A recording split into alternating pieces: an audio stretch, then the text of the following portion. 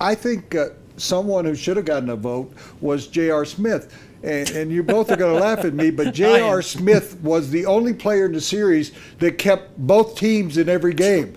Right.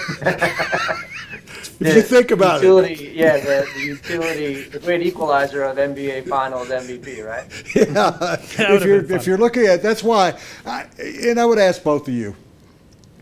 MVP is sort of an outmoded kind of award anyway. Yeah. Best player. Well, if you said best player, it's got to be LeBron James. Most valuable player. Now you got to start thinking of your own definition of is Iguodala the most valuable because he came off the bench and became a starter and he, he held LeBron to 40 points a game and was a great defensive player. Uh, uh, and, and I'm not giving him enough credit. He made LeBron work for his shots. But should we get rid of MVP? Should the well, MVP be outlawed in baseball, in all the other sports, and just say most the, outstanding player? Most outstanding player.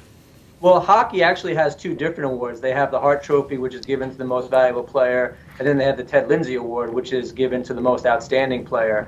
So I think that there is a notable distinction, like you said. I mean, most valuable can mean a lot of different things, and it means different things to different people. That's the the, the seven four split. And what actually surprised me most was Steph Curry didn't even get a single vote for MVP. I mean, I thought he was by far the best player on the Golden State Warriors, and for him not to get a single vote at all was a little bit surprising. So without a doubt, yeah, I think either there needs to be a consensus or some type of definition around what the word valuable means, or you know, just call it what it is as being the most outstanding player. I, I think you take it away from the media and you give it to the fans because they oh, they stop. know. Now you're being silly.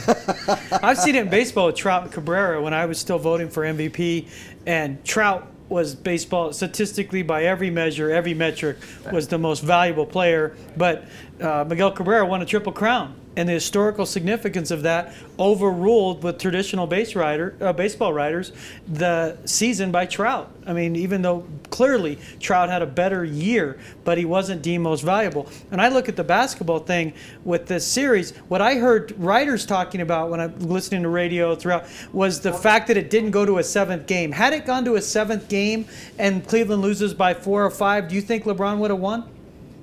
You know that that's that's a good question. I'm I think that it would have taken a pretty big game from LeBron and a bad game from everybody else okay. for a seventh game in order for it to happen. I mean, like we, like you said, I think the media wants to give it to the winner, and there's some there's some reasoning behind that, right? I mean, it's hard to be the most valuable and not be still the winner. So I think right. intuitively that makes some sense. So no, I don't. I think that if if LeBron didn't get it in Game Six the only way he would have gotten is if he won Game Seven. I don't think losing by one point, four points, or 20 points in Game Seven would have made much difference.